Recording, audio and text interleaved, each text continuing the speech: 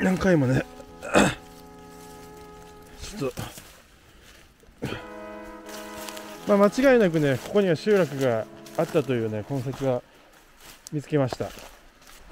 ただ気になるのがちょっとなんか道みたいなのができてるのが気になるんですけどまあ動物の道でしょうね。家が建ってたような、えー雰囲気が、えー残ってます。ちょっと上がってみようかな。そのたジュースのタンクもう相当ね 瓦がありました。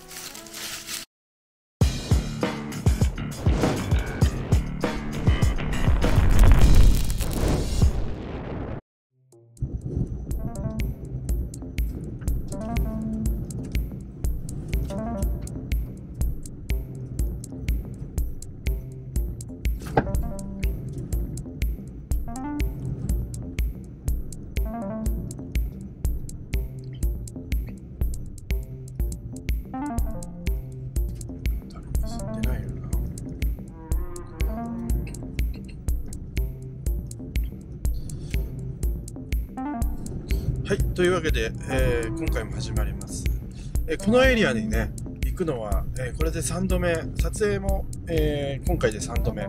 カメラはねだいぶ変わってきてるんですけども3度目のこの地ということです。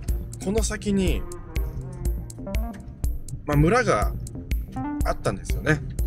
結構ね大きな村があったんですけどダムのその建設によってねみんな離れたっていうような村がこの先にあるんですよ。今回で、え3度目のね撮影なんですけど車ではねうんどうだろう。ギリギリギリギリまで行けるのかな。まあ、行けるとこまでね、ちょっと行こうかなと思います。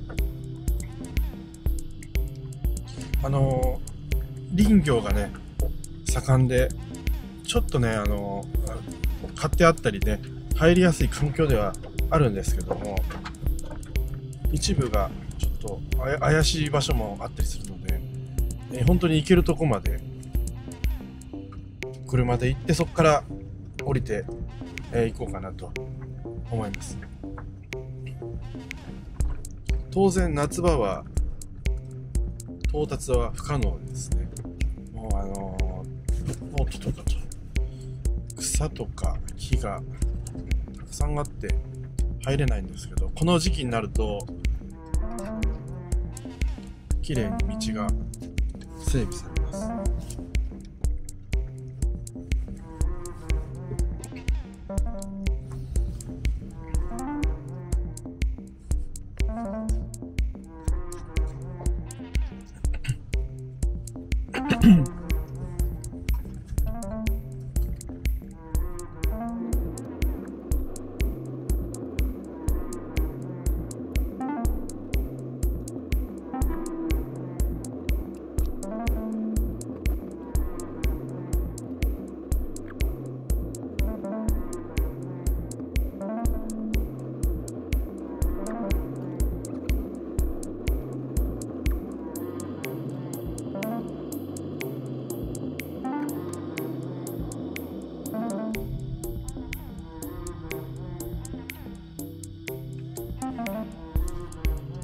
まだなんとかいける感じだとは思う。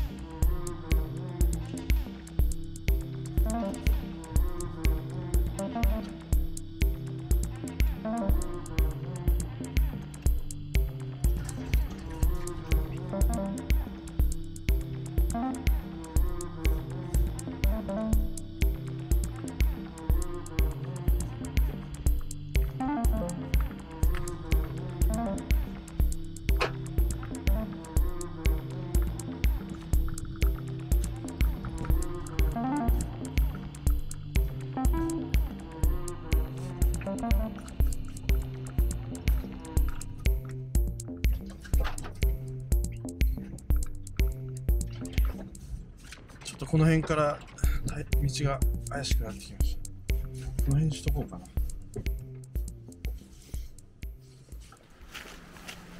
はい、えー、里のね、まあ、村ですね。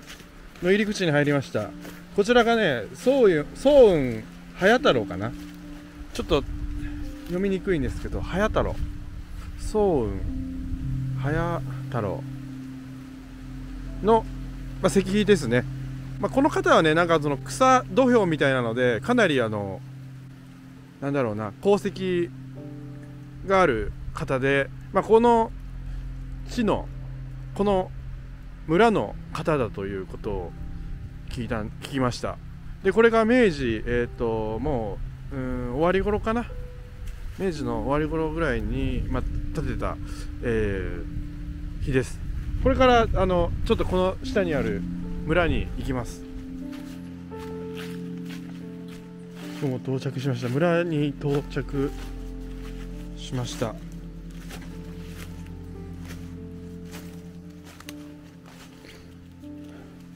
ここがね村の墓地になります。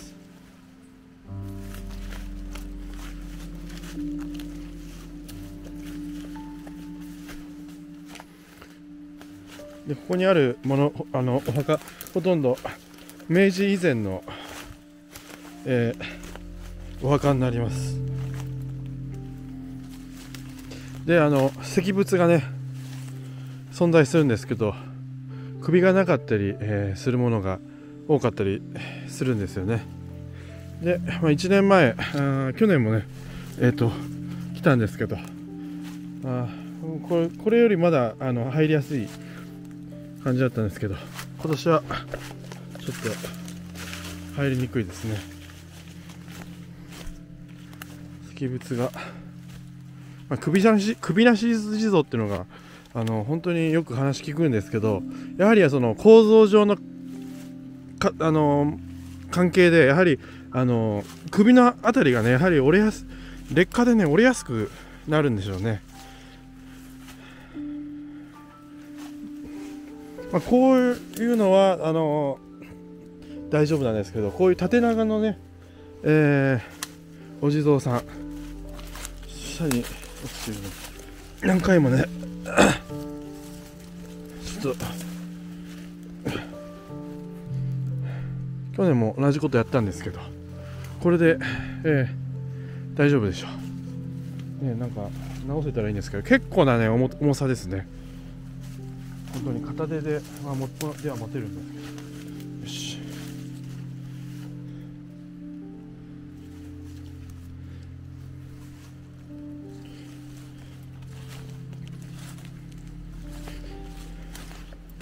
ど後ろから失礼します。でこの先に集落があったとされてます。もう現在ではねその集落っていうのはないんですけども、まあ、長年の歴史の経過経過とともに、え消えていったのかなと思います。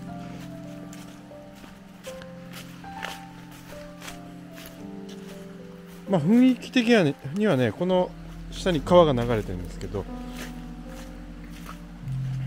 なんかその辺とかあったのかなっていう僕ねちょっとあの丘のようになってるんですけど、まあ、その他こういう場所とか家あったのかなっていう。ちょっとね空間ができてたりするんですけども。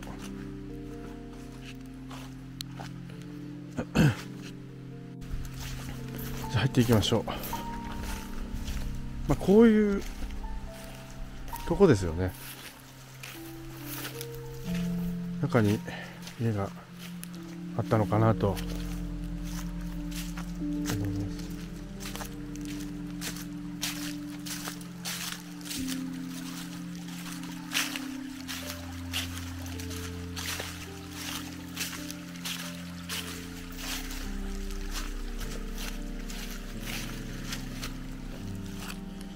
ゴミがありますね。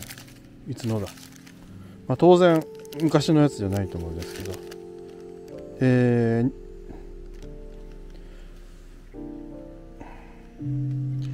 賞味期限21年11月、えー、15日。ゴミが置いてあります、まあ、おそらくねそれぐらいに整備したのかな。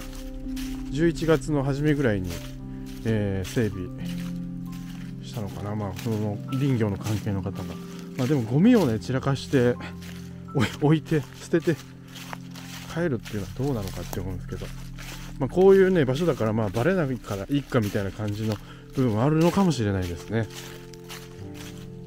じゃあちょっとまだ先に進んでいきましょう。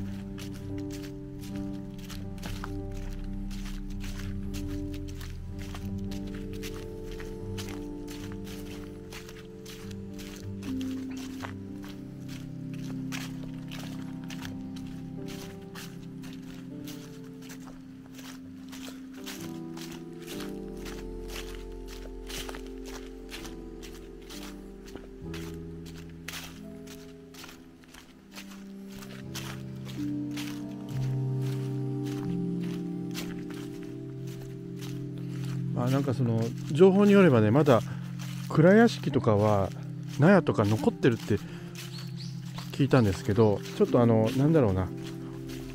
山側かな？山側というかなんか山の上にポツンとなんか存在するって聞いたんですけどちょっとね見当たらないですね。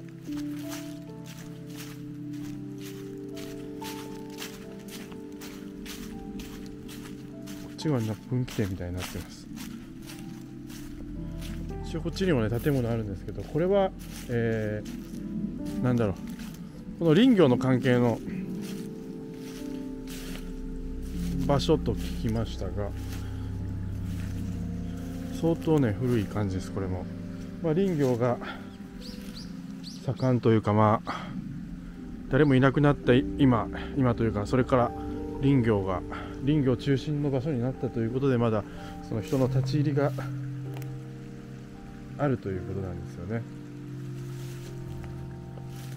その中にまあ缶缶があったりしてるんですけどもこれも多分最近のやつかな。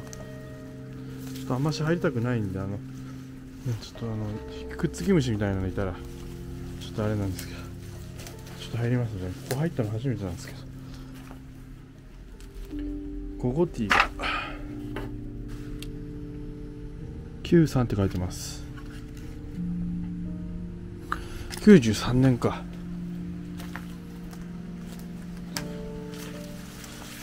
1993年のになんか多分動きがあったのかな、まあ、こっちにはね道があるんですけど当然ながらね進むことができない。エリアになってます。まあ、その当時は多分この辺でねあの洗濯をしたりねいろいろ洗い物したりしたんでしょうね。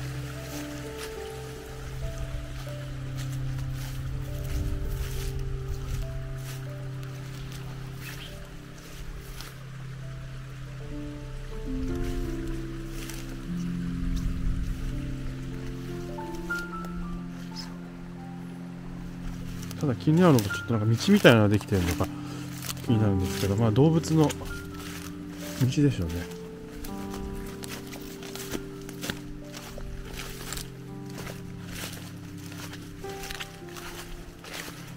あっちにもなんか石段みたいなのがあります、まあ、おそらくここにも家があったんでしょうね。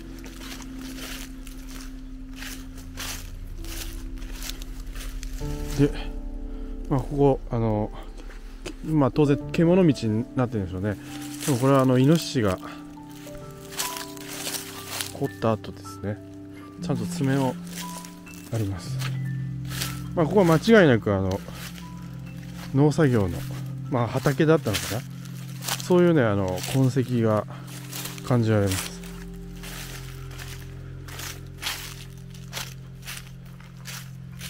まあ、この上にもなんとなくなんかそんな、えー、感じというか、まあ、家が建ってたような、えー、雰囲気が、えー、残ってます。ちょっと上がってみようかな、まあ、今は本当にあの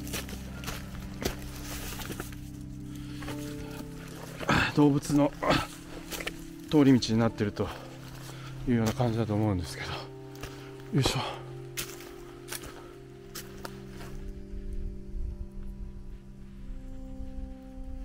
今はまあこんな感じです。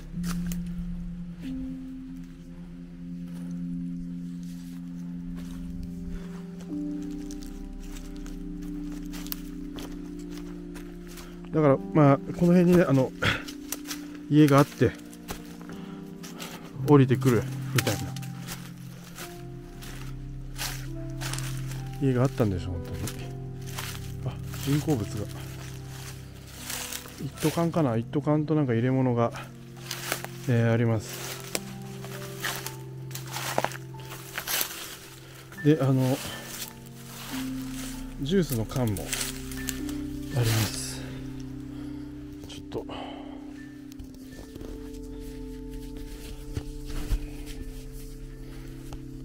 そのジュースの缶かもう相当ね古いんですけど。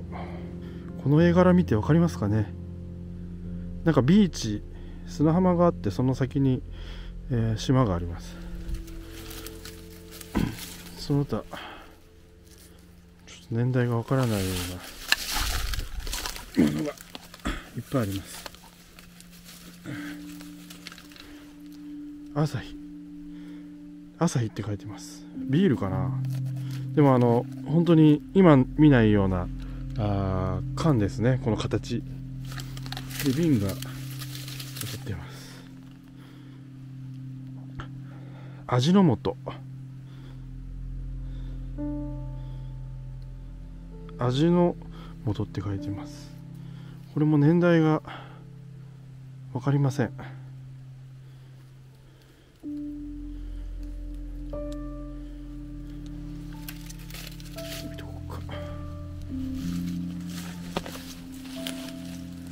ここがどうまあ家があったんでしょうね。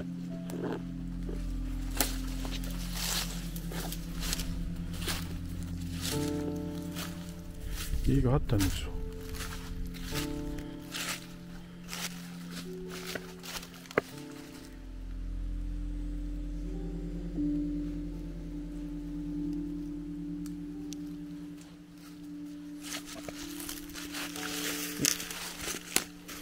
足元に違和感。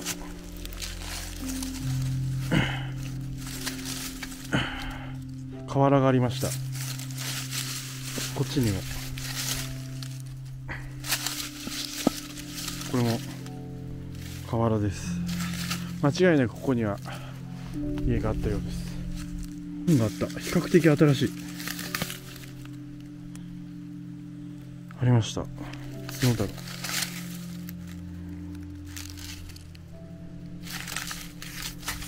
年代がわからない。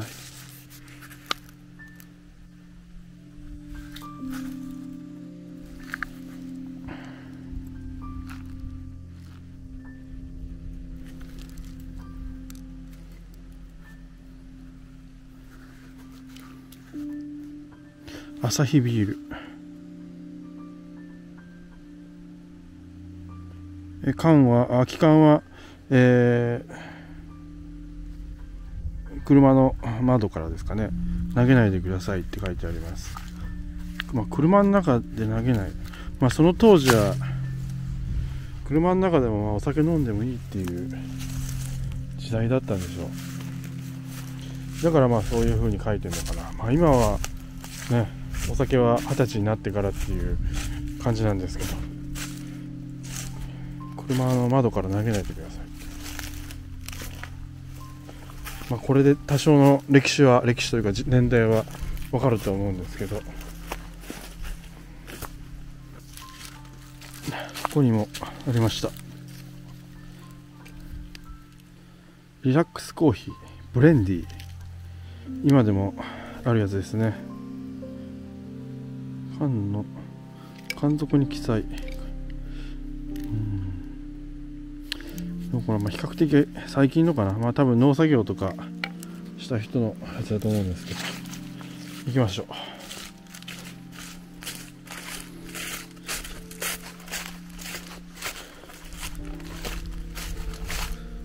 ああなるほどね。分かりました。このとこから多分先ほどの上まで上がってきたんでしょ上がるんでしょうね。まあ間違いなくねここには集落があったというね痕跡が見つけました。今まではねそのまあごいというかねあの缶とか水筒とかそういうものが、えー、以前の動画とかあったんですけどそのレンガとかそういうのが見つけたのは、えー、初めてですね、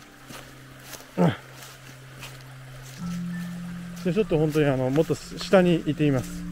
これからこのこれからね下にはねあの神社が神社があったりとか結構あのなんだろうな生活感がを感じられるというかあったんだあの人の出入りがあったんだなっていうような雰囲気が残る、えー、場所です。でまあなんでここにこんだけの規模の、まあ、集落があったのかっていうとまあこの近くに川が流れてるんですけどもでまあこの川はねあの、まあ、岡山で有名な川に大きな川ね続いて続いてるというか直結してる川なんですけどえっ、と、まあ、県北からね高瀬舟が、えー、出てたんですよねその当時。だからここがねあの経由地だったっていう情報もあるんですよね。だからおそらく物流の関係でも多少栄えたというかまあ商いが商いが行われていたのかなとか思いますね。だからこの下とか結構ね大きな平地になってるんですよね。一直線にずらーっと向こうまでね。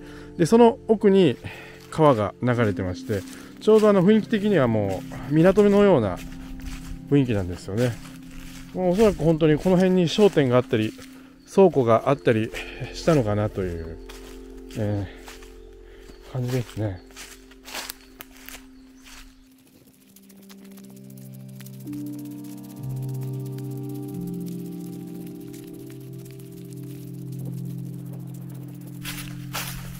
で、ここにもお墓が、えー、ありますね。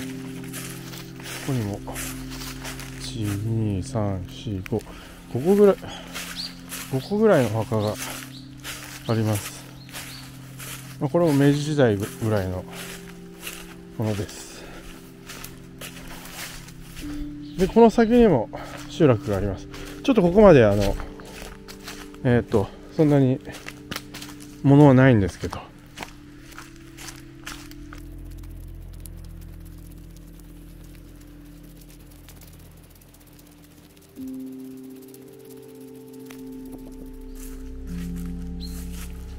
到着しました。この上にねえー、神社があります。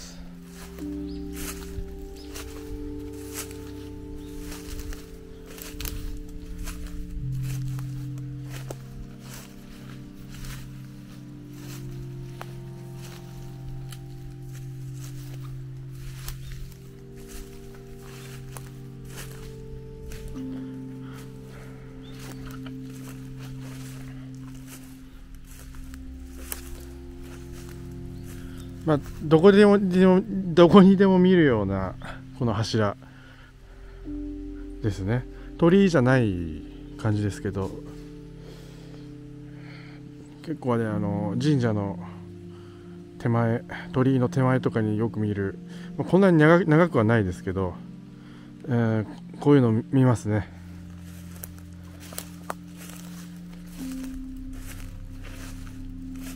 入っていきましょう。まずまだ祠がね残ってんですよねここ。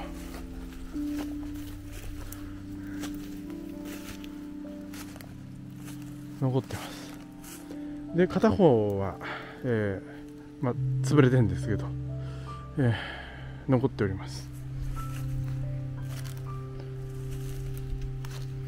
でこの下にも瓦があるので、まあ、おそらく建物があったのかなと思いますここに。よく神社にではねあの大きい、まあ、本堂が本堂かな。本堂の裏にまああの祠があったりするんですけど、まあ、その祠がこれであってこの目の前にあるやつってまあおそらくこの本堂がここにあったのかなという。ちょっとあんまし僕も寺関係仏閣関係詳しくないんですけど今まで見てきた中で、まあ、そういう形だったんでおそらくここにあったのかな建物が。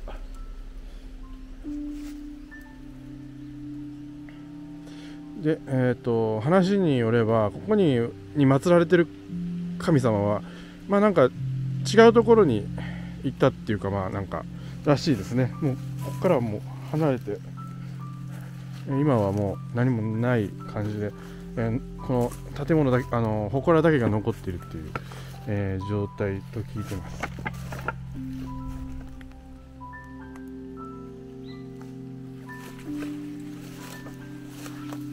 下は結構瓦がゴツゴツしてます。かなりの瓦が、えー、あるので立派な建物だったんでしょう。当然中は何もないです。で、えー、左側の、えー、祠もは、えーと、倒れてます。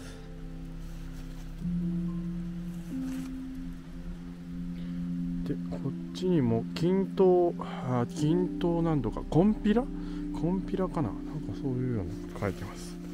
はい、まあ、この辺は、えー、こういう感じでございます。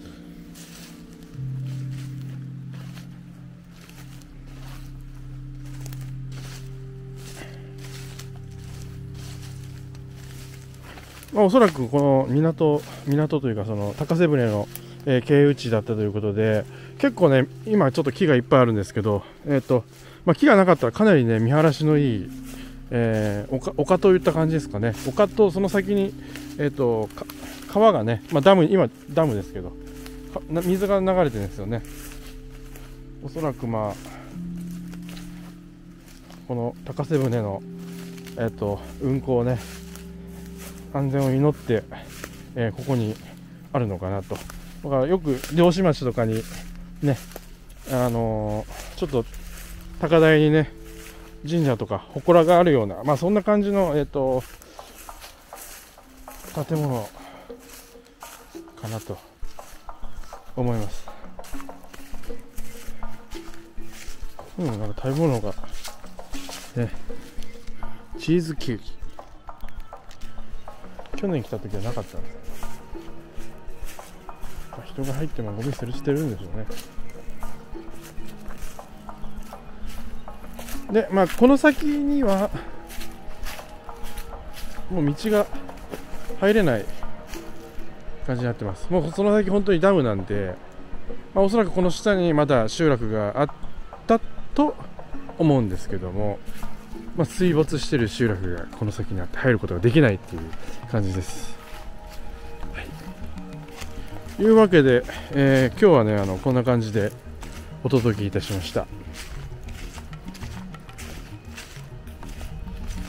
まあ、3度目ということでね新しく分かった部分もあればまた同じところを撮影したりとかいう感じでであのカメラもねと全く違うカメラで多少見やすくなったとは思うんですけどもまたあのこの周辺をね散策してみようかなと思います。結構ねいい運動になります。本当に。まあ本当にあのこの時期だから行けるというエリアです。まあ、夏になったらあの動物もいますし、蜂もいますし、えー、まあ、この辺ね、だいぶ荒れてるので、まあ、今の時期が本当にいい時期です。ちょっと寒いですけど、しっかりあの寒さ対策すれば、えー、全然いける感じになってます。はい、というわけで、えー、最後までありがとうございました。また次回もお楽しみくださいませそれでは失礼いたしますスピチューブインスタグラム始めましたお得な情報プレゼント企画はこちらからフォローよろしくお願いします。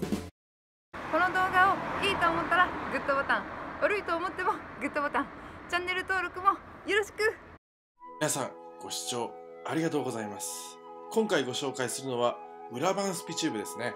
こちら編集してない動画や上げにくい動画はこちらでアップしておりますのでぜひ検索してみてください。裏版スピチューブで出てきます。ぜひよろしくお願いします